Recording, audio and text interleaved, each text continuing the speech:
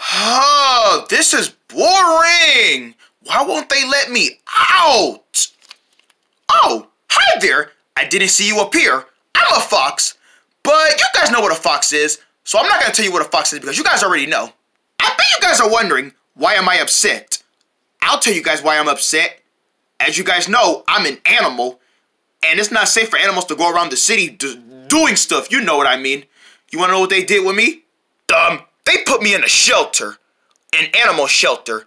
But it's like an animal shelter for foxes, foxes like me. It's like a fox going to jail, and as you guys know, I don't want to be in here.